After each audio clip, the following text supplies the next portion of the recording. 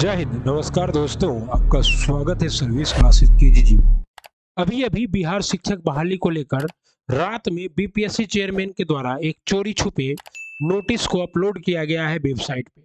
ताकि बच्चे सुबह होकर इसे पढ़ें, लेकिन आपका भाई लगा हुआ था, इस नोटिस को अभी ब्रेक कर रहा है। अभी ब्रेक कर रहा है रात में, लगभग ये दस बजे के आसपास नोटिस आया है। आप लोग देख सकते हैं ये नोटिस कब आ रहा है। अभी देखिए, अभी जो है उन्नीस उन्नीस आठ दो हज़ार तेईस को ये नोटिस आया है। एडवर्टाइजमेंट नंबर एकदम न्यू नोटिस है। तो इस नोटिस को डाउनलोड कर लिया गया है। अब हम आपको इस नोटिस से मिलवाते हैं। नोटिस में क्या है साथियों? सबसे पहले आपके स्क्रीन पर जो नोटिस दिख रहा है, यही नोटिस है। मतलब बीपीएससी को लग चुका है कि बीएड वाले क्या है? एग्ज़ाम से लगभग बाहर है, लेकिन मुझे बीएड वालों का फ़ीस लौटाना नहीं है।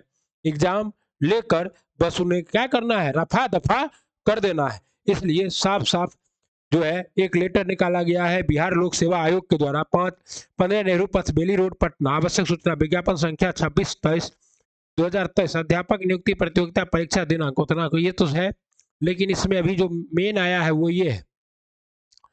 नियुक्ति छब्बीस, दो हज़ार तेईस। प्राथमिक माध्यमिक एवं उच्च माध्यमिक विद्यालय में अध्यापक नियुक्ति से संबंधित शिक्षा विभाग बिहार सरकार द्वारा अधिसूचित। शिक्षा विभाग बिहार सरकार शिक्षक शिक्षक प्रशिक्षण के किसी भी उपाधि के मान्यता के बिंदु पर अथवा किसी उपाधि विशेष के समतुल्य के बिंदु पर किसी भी प्रकार के विवाद की स्थिति में क्या करेगा? राष्ट्रीय शिक्षा परिषद एनसीटी के परामर्श से विभाग निर्णय लेगा। तो एनसीटी तो क्या है? एनसीटी ने तो अपने वेबसाइट पर क्या किया है? सुप्रीम कोर्ट के ऑर्डर को अपलोड कर दिया है और उसने क्या किया? अपना विड्रॉ कर लिया है 2018 वाला 28 जून 2018 वाला नोटिफिकेशन इसका मतलब साफ़ है कि एनसीटी ने ऑफिशियली बिना किसी राज्य को इन्फॉर्म किए ऑफिशियली एनसीटी ने क्या किया है?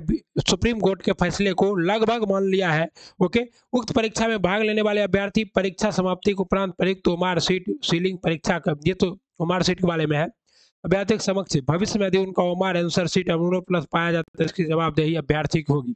ये कदाचार की श्रेणी में माना जाएगा था। सभी अभ्यर्थियों को पात्रता जाँच डॉक्यूमेंट वेरिफिकेशन के माध्यम से की जाएगी। सीटेट बी एड अपियरिंग अभ्यर्थियों का परीक्षा फल डॉक्यूमेंट वेरिफिकेशन की तिथि तक अवश्य प्राप्त हो जाना चाहिए। अन्यथा उन्हें इसके अभाव में आयोग माना जाएगा। उन्नीस आठ दो हज़ार तेईस संयुक्त सचिव सह परीक्षा नियंत्रक, बिहार लोक सेवा आयोग, पटना। मतलब साफ़ है कि अभी रात के, एकदम रात के अंधेरे में ये आपका नोटिस आया है। और ये नोटिस साफ़ साफ़ आपको बीएड वालों को एग्ज़ाम से लगभग बाहर कर रहा है और डीएलएड वालों को गोल्डन अपॉर्चुनिटी दे रहा है। सरकार को अब चाहिए कि बीएड वालों के लिए सिक्स टू एट निकाले। ठीक है वही है।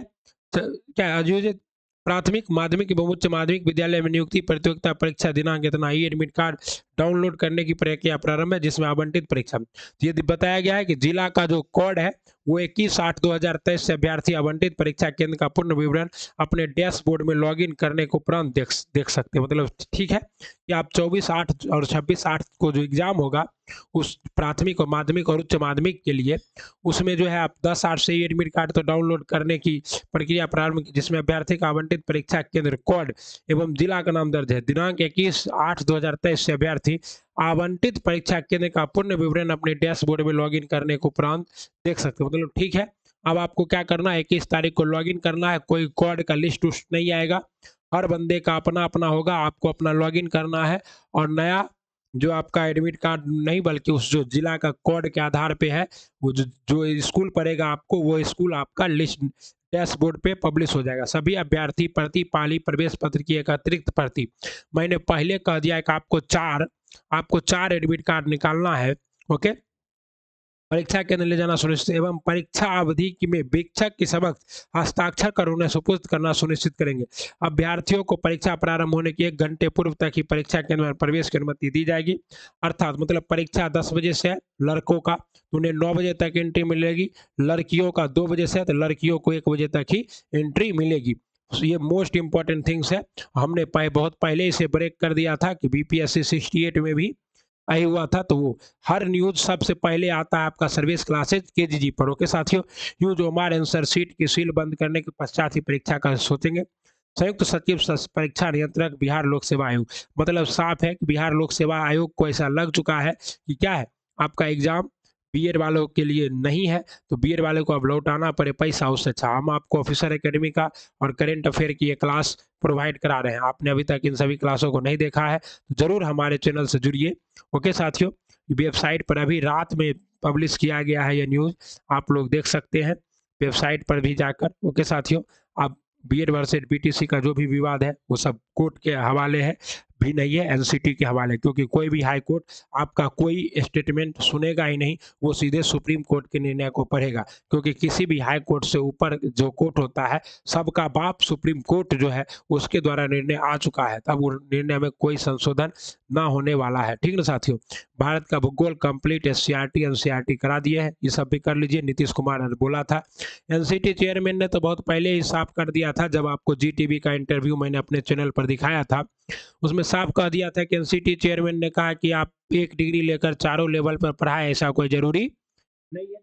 और एस एस के चेयरमैन ने भी कह दिया क्या ही होगा एन के चेयरमैन भी ने कह दिया, तब कुछ होने वाला है नहीं। इसलिए ज़्यादा क्या है, दिक्कत नहीं पालना, आगे की तैयारी करना है भारतीय अर्थव्यवस्था का संपूर्ण क्लास है। डिटेल में एकदम सर्वेश सर के द्वारा आपका भाई खुद क्या है बीपीएससी फोड़ा है और बीपीएससी के रूह रूह से वाकिफ है। इसलिए एकदम डिटेल एनालिसिस लेकर आया था। आप देख रहे थे रात के ग्यारह बजे सर्विस क्लासेस दीजिए लाइक सब्सक्राइब और शेयर ज़रूर कीजिएगा, क्योंकि इन्फॉर्मेशन कोई भी हो, सबसे पहले आप तक सटीक पहुँचाया जाता है और खास करके बीपीएससी शिक्षक भर्ती के लिए और बीपीएससी और बिहार दरोगा के लिए कंसाइज बेज में मटेरियल प्रोवाइड किया जाता है, जो एग्ज़ाम में हु छपते हैं। वंदे मातरम शुभ रात्रि। Have a nice day all the best